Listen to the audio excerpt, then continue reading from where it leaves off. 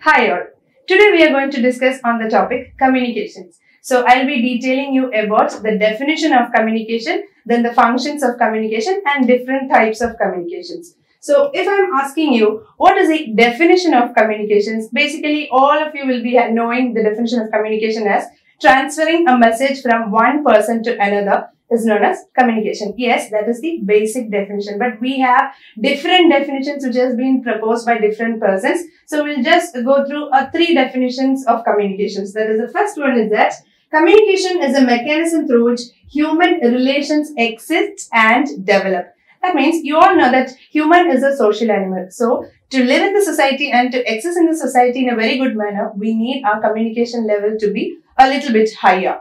So the second definition is that communication is a process by which one person tells other person something through written or spoken words. So communication can either be a written communication or can be a spoken communications. If I'm writing a letter to uh, my father, then I'm communicating all my messages through that letter. And if I'm sending a mail to the manager of the college, then I'm communicating whatever I want to communicate, I'm communicating through that mail. So it can either be a written or spoken words. Then the last definition is that communication is the process of sharing, of exchange of ideas, informations, knowledge, and then attitude and feeling. So whatever we are communicating, if, if I'm, uh, if I'm crying in front of a person, then I am communicating that I am sad. So whatever, everything, there's all this exchange of ideas, information, knowledge and attitudes, everything is communication, which comes under communication. So that is the definition of communication. So now we are moving on to the functions of communications. So what are the functions of communications? There are many functions,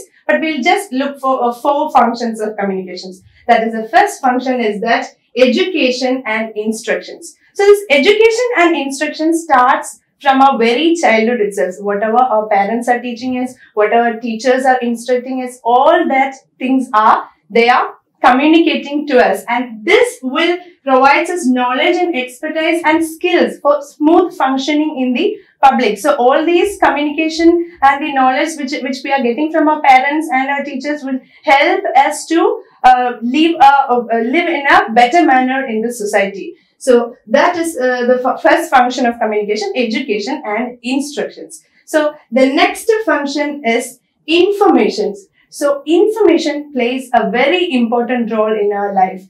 So a quality of our life will be poor without information. So how much information we are having, that much powerful we are. See, for example, uh, if we uh, doesn't know about the lockdown of tomorrow's lockdown and we are planning uh, for a picnic with our family. So what will happen? Obviously, the next day when we are going out, we will not be seeing any cars or any shops open and nothing. So what will happen? You will obviously have to wind up the picnic. So that is because of the lack of information. So uh, communication provides us a lot of information through uh, different channels like through television, through radio and through all these. Uh, and so it will be giving us information regarding what is happening in our surroundings. So that is the second function of communications. Now moving on to the third function of communication is entertainment. So entertainment is very much important in our daily life because uh, considering the students, yeah, you can say you are studying your daily chapters. If you are studying, then okay. Uh, studying daily chapters, doing your OJTs, going for internships, all these are your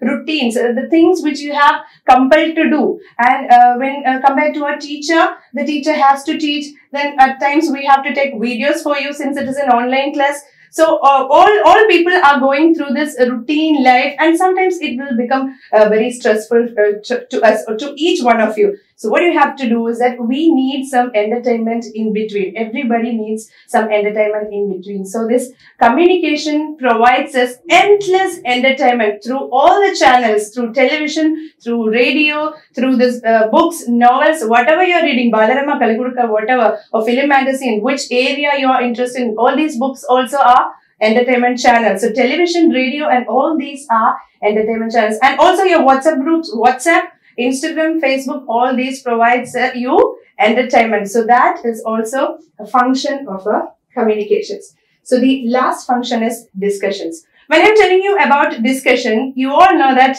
the discussions or the debates which your class teachers or, or your teachers are telling you to do or conduct in your classrooms. So what these debates and discussions will um, help, how they are helping. Because when we are conducting a debates or discussions, we are raising out our points and somebody else, our friends are also giving or adding some points about that topics. So your knowledge level increases. So debates and discussions clarify different viewpoints. So at that point of time, we will be able to understand the point of view of all the other peoples in the class. So that will be adding up your knowledge. So that is also a function of communication. So these are the different, some of the functions of communications. So nextly, we will be discussing about the different types of communications. So in the beginning, we will be uh, talking about the definition of communication that is exchanging uh, information from one person to another.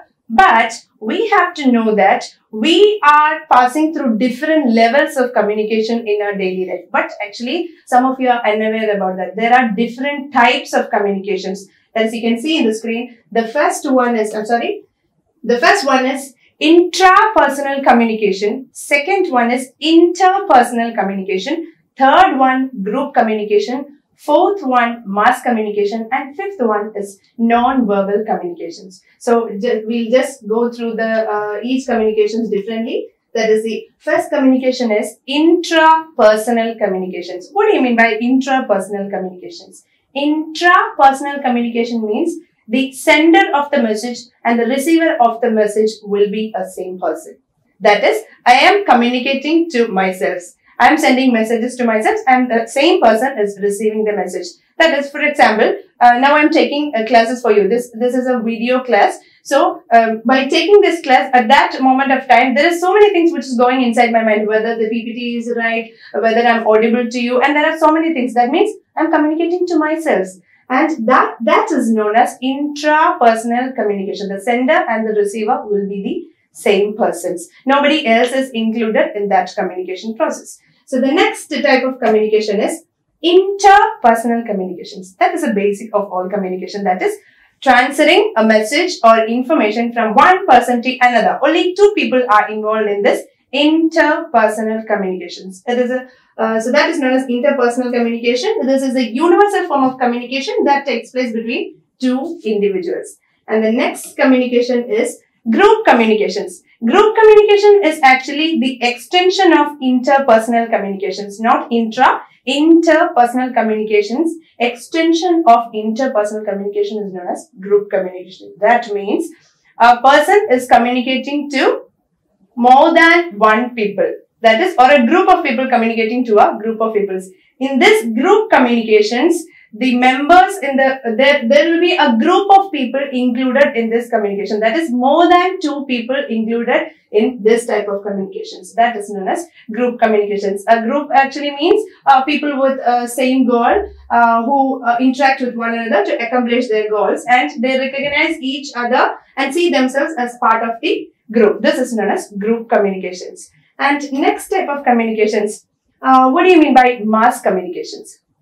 Mass communication basically means uh, a mechanical device communicating to a mass audience, that is to a, a, very large group of audience. That is mass media. This large group of audience is known as mass need, mass uh, mass group. So any mechanical device that multiplies messages and takes it into a large number of people is known as mass communication. So you can take the examples of television, radio, um, and this uh, Facebook and everything. So when uh, when we are watching the news channel, when I am sitting in my home and watching the news channel, I am receiving some uh, news from the channel and the same news is being received by many other people at the same time. So that news is being communicated to a mass audience. So that is known as mass communications. And the last type of communication is known as non-verbal communications. So in verbal communications, we know that there is words, there's spoken words, and there is uh, um, written words, and everything is included in